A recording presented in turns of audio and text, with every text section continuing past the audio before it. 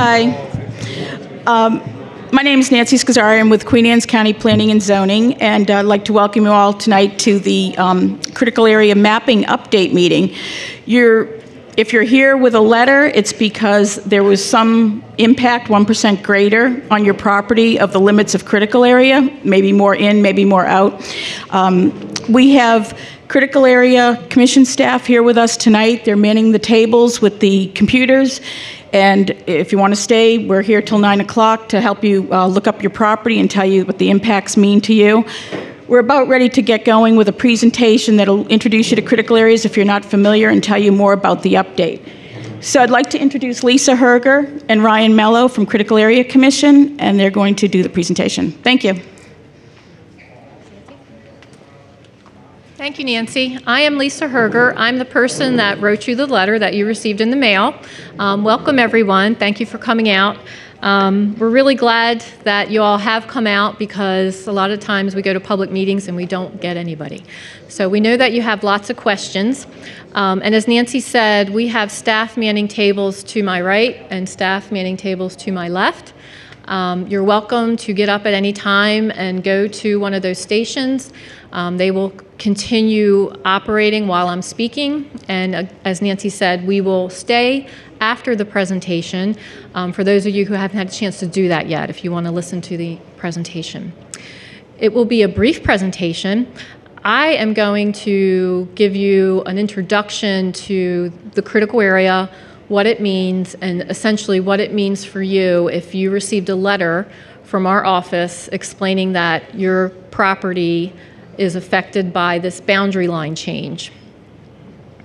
So I'm going to get started with that. So the first question that I've heard already a couple times tonight is what is the critical area? I don't know what it means. And I wouldn't know what it means either if I didn't work for the commission. But um, it goes back to the early 1970s. And for those of you that were living in Maryland then, you may remember Governor Harry Hughes.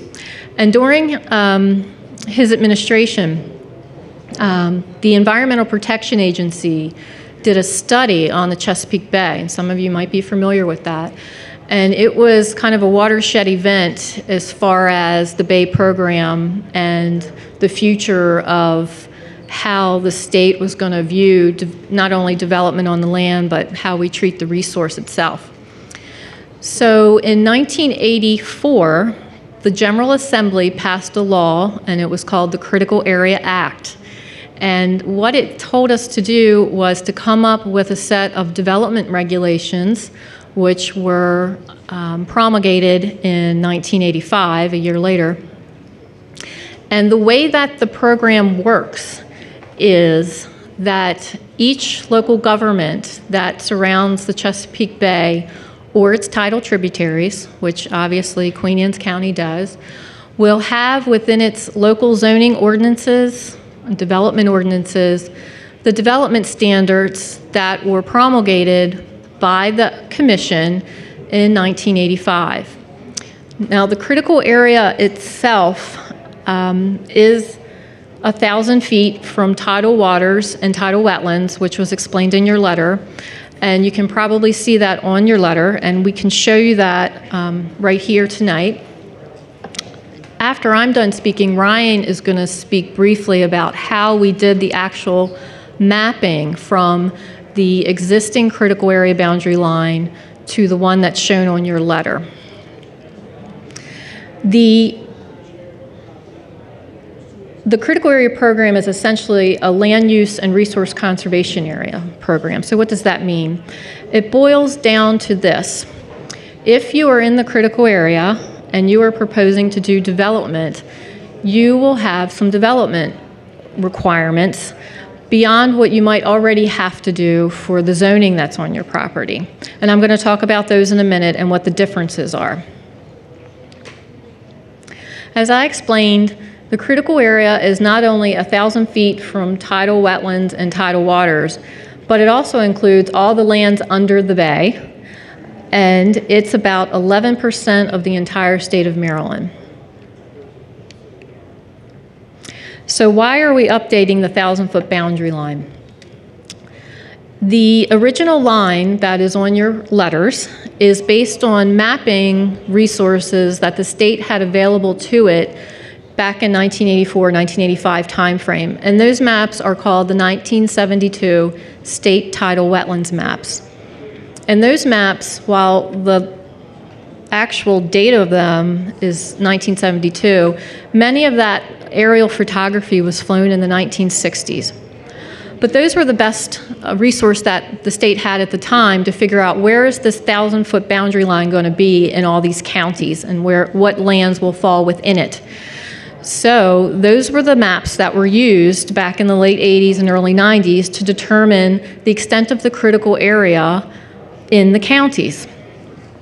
And what we've learned, and what you all probably are aware of that live near the water, is that, you know, in 40 years' time, we've had a lot of erosion or accretion or subsidence of land, which means that the way that thousand foot boundary line is drawn has changed. So if you measure the edge of a line from a point off the edge of a wetland, and that wetland has shifted, or the edge of that tidal water has shifted, the line would shift.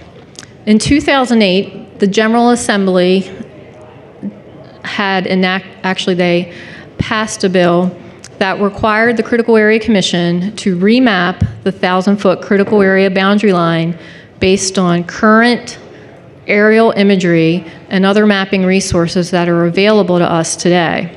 And as I said, Ryan, after I speak, is going to about what specific resources were used to identify the new edge of shoreline and tidal wetlands that results in the, in the thousand foot boundary line changes. The other reasons that we're doing this, and the reason that the General Assembly wanted us to update these thousand foot boundary lines across the county, was for the obvious reason that we wanted it to be accurate. And two, um, with technology as it is today and the increase in use of the internet, we wanted the maps to be web accessible to all the citizens that have access to the internet. And we wanted the line to match up. Um, if you look at the current maps now, sometimes the lines don't match. The thousand foot boundary line waves, and it's not very accurate because it was drawn with a magic marker. So you can imagine the inaccuracy involved in drawing a line with a magic marker. So the House bill was 1253 that required that the 1972 maps um, be used as the baseline, which is on your letter. And from there, we redigitized the shoreline and wetland edges and drew this proposed line that is on your letter also. We have worked probably two to three years on Queen Anne's County. Um, this has not been something that just happens overnight, despite the fact that we have great technology. Um, we did a lot of back and forth with county staff. There are places in the county where we actually couldn't tell where the edge of tidal waters or tidal wetlands were. So we, if we were granted permission to go on private properties, we went out and we ground truthed those areas where we could not tell from the information that we had available on the desktop. So the burning question is, what does this mean for my property if the new proposed line falls on my property? And a lot of you got uh, pictures that look very similar to the one on the screen, which shows a boundary line that is a broken line, which is the current uh, legally binding critical area line in Queen Anne's County. And then you got a solid line, which is the proposed critical area boundary line based on remapping, again, the edge of those wetlands and tidal waters. And for some folks, um, they are now in the critical area for the first time. For some of you, maybe part of your property was already in the critical area, and now more of it or all of it is. And for other folks, you might be out of the critical area now where by you were before. That has actually happened. So if the line has changed on your property, it means that at least that portion of your property that is within the critical area is subject to the development standards that I spoke of earlier. All of the development standards are in the Queen Anne's County ordinance, and I'm going to tell you what they are. But the first question that you should have if you're planning to do development or redevelopment on your property, you know you're in the critical area, is what is my critical area designation? And critical area designations are very similar to how the zoning works on your property. So everyone here has some type of zoning that's on their property. It could be residential, it could be commercial, it could be agricultural. And that zoning requires certain standards that you have to meet when you pull a permit to do a development activity. The critical area designations work the same way. So if you got a letter and the um, designation on your property that's proposed is an IDA, an intensely developed area. The additional development standard that you would have to meet if you were in an IDA or an intensely developed area, and on your letter it would be red, and if you're not sure, please ask us, is that you would have to perform some stormwater management on the property. Now, for some of you, if, if you're proposing new development and it's 5,000 square feet or greater, you're going to have to do stormwater anyway, according to the state requirements from the Maryland Department of the Environment and Queen Anne's County. And what we've been finding is that most of the time, if you're already meeting the county requirements, you're automatically meeting the critical area stormwater requirement. The other two categories are limited development area, LDA, if you hear us speak it, it's LDA, and resource conservation area. Both of those uh, critical area classifications have very, are very similar as far as what the development requirements would be. If your letter is yellow, you are in a limited development area. If your letter is green, you're in a resource conservation area. Both of those designations would require a lot coverage limitation. So if you came in for a building permit, the county would look at the size of your lot, and generally, the lot coverage limitation is 15% of the lot or parcel that is inside the critical area. For lots that are smaller than one half acre, there are provisions to allow greater than 15%. The other thing to note is your underlying zoning in some cases might likely already restrict your lot coverage. Um, so that's something that you will want to ask one of the county folks if you have a chance tonight. The other restriction in a limited development area or resource conservation area is that if you're planning to clear any forest on your lot or parcel, you have a limit of up to 20% of that area, and you would have to replace the forest but that's assuming if you had to cut any trees. If you're not cutting any forest, then you don't have a forest replacement requirement. There's one additional restriction for folks that are in a resource conservation area, and that has to do with density. The density in a resource conservation area is one dwelling unit per 20 acres. So if you have 20 acres, you get one dwelling unit. If you got 40 acres, you get two, and so on. The other point to make about that, I spoke with a, a woman earlier tonight, is you might want to check with the county to see what your current underlying zoning is on your property because many times a county's rural zoning is the same density restriction as critical area. So it may be there's no net effect, but you need to know what your underlying zoning is. So, another question we get um, at these meetings, and we've been to some other counties already, we've uh, finished Talbot and Prince George's and Calvert, is um, if I have existing uses or structures, does that mean I have to do something different? No. Everything that is existing as today can remain on your property and any type of use that you currently have on your property can continue on your property, regardless of how the critical area boundary might be shifting on your lot or parcel. Um, I am going to turn it over to Ryan at this point, and he is going to talk to you about the mapping. Again, we're, we're going to be available to all of you after Ryan's finished. We'll take questions from the audience, and then we will be here to continue to answer any questions you still might have. Thank you. Okay, let's try to fix this. Uh, as Lisa said, my name is Ryan, and I am the GIS coordinator for the Critical Area Commission. Basically, my job is to work with the counties, the Critical Area Commission, and Salisbury University to make the maps that you see. So I'm going to show you an example of how we go through the process and what we do. And then at the end, I'm going to show you some common review points that we have that come up and how we address those points. So the very first step we do for a county is we get all the imagery we can for that, that county. The first most important imagery that we have is the true color imagery. That's basically what is on the ground at the time it's flown. We use this imagery to create the shoreline. That's the first step. We do the whole county at once. And we'll go through and draw, we'll use um, mean high tide to determine where the line will be because of the way that the counties are shaped, a lot of times we'll have high tide in one area, we'll have low tide in another one. So we try to go the average area. Um, beaches are actually really kind of easy to map because you see where the high tide mark is and where the water is now, and we kind of average that out. Um, we also take into account trees hanging over the water to determine where we want to put the shoreline.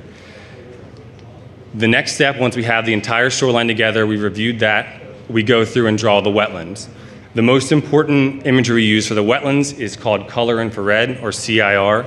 Basically, what that is, is it shows photosynthesis of plants. So, green grass, green trees, that shows up as bright neon red. Um, tidal grasses usually show up as beige or brown. So, just looking at the color infrared, it shows you pretty good areas of where the wetlands are. So, we're going to start with those, and we're also going to compare them to a lot of other data sets to confirm what we are mapping is tidal wetlands. Um, again, we use tree shadow, we try to average those out, um, and we also have to use a lot of different data sets to confirm what we have. These are the original 72 wetland maps. We take these, we scan them, and we georeference them to make them fit to what we have now. Obviously, these are 30, 40 years old, and they are going to be different than what is on the ground now. So we don't go based on exactly what's there, but if there was a wetland there in the 72, it's a good chance it's still there now. So we use that as a definitive yes, there was a wetland, there still is a wetland here. We also use topography to show how high the area is. Normally, a tidal wetland doesn't go above four feet. There are examples, there are exceptions to that, but for the most part, they don't go above four feet, especially if they're located right on the water. LIDAR, however, is probably the best tool we have for topography because it averages out and it makes a lot cleaner image for us to look at. The contours, if you can see those, are kind of patchy, and sometimes grasses can set those off. But if we have LIDAR, it kind of smooths everything out and makes the line a little bit easier.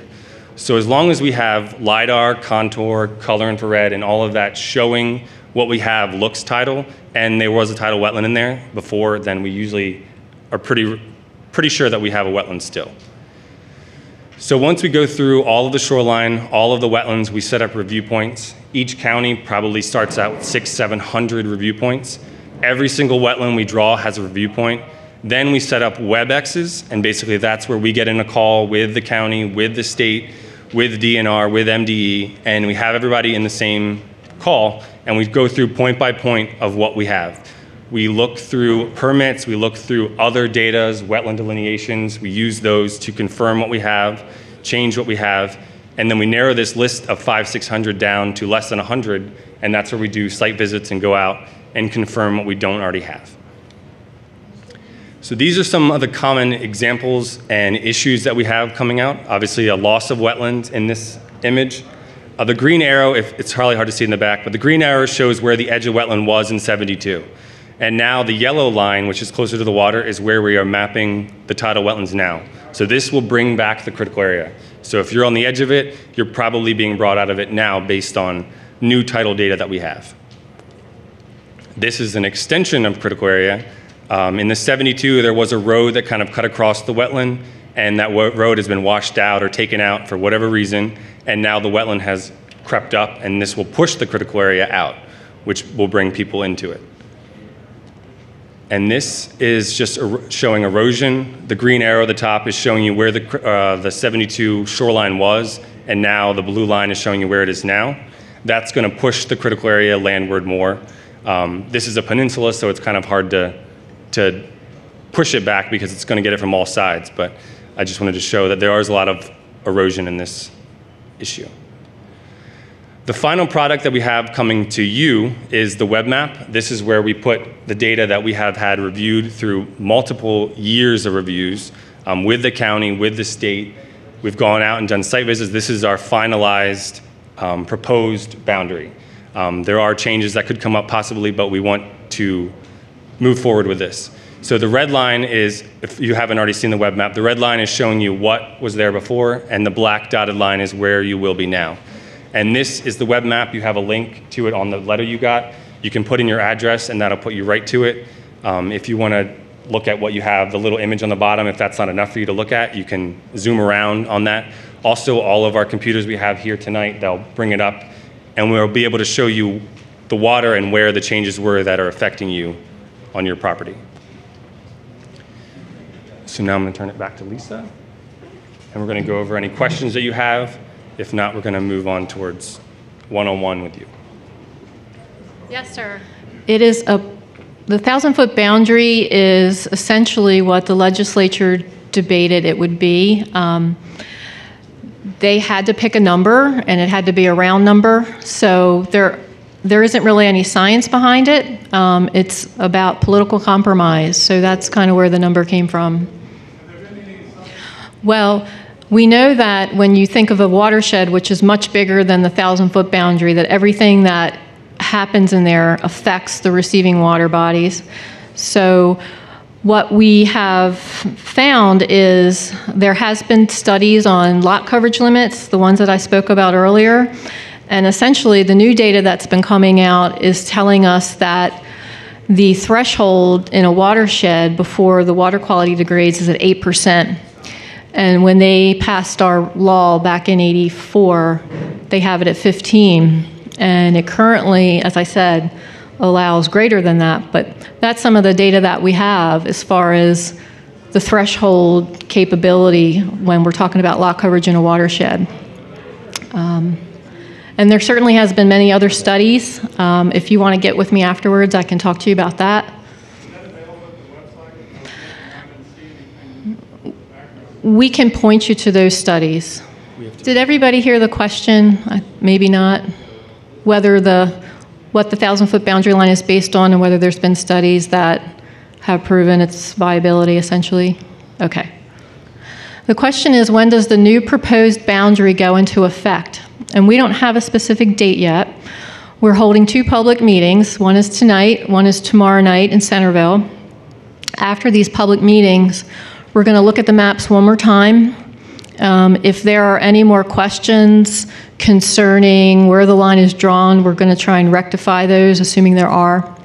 And once we feel like the maps are fairly close to ready, we will officially trans, the state will officially transmit those maps to Queen Anne's County government. And at that time, the county will take the maps through the legislative process before your county commissioners.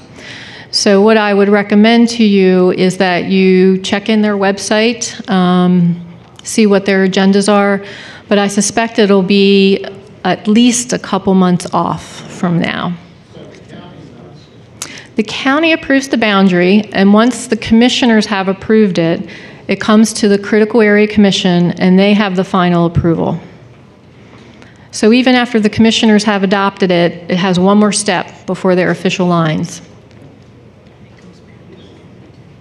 Oh, and excuse me, and in, in Queen Anne's case, after our commission approves the maps, it does come back to your commissioners one more time. You all have an extra public process in Queen Anne's County. Yes, ma'am.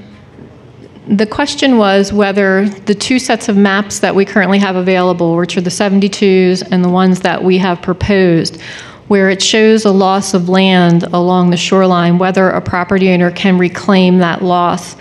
And that question, um, essentially, the answer is no, to my knowledge. but I can get back to you. Um, That is governed by the Maryland Department of the Environment, not our agency, and they will be the folks that could answer that question succinctly.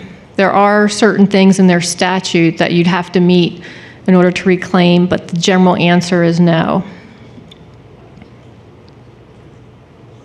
Yes, sir. The question was, if you're in the critical area and you have to tear down and rebuild your home, can you still do that? And the answer is yes. What if you sell?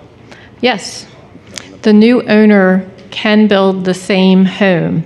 Um, If it's waterfront and there's a minimum 100-foot setback, if you're on tidal waters or tidal tributaries, or if you're near a tributary stream, if there's a buffer on the property and there's land available outside the buffer to rebuild, the county may require you to place the house outside of that buffer. But if there are no buffers on the property, you can put the house in the same spot. If there's no other questions now, um, don't worry, we're still here, as I said, we're not leaving. Um, Happy to talk to you one-on-one. I thank you all for your attention. I know it was a lot of information, and um, I will be available. Thank you.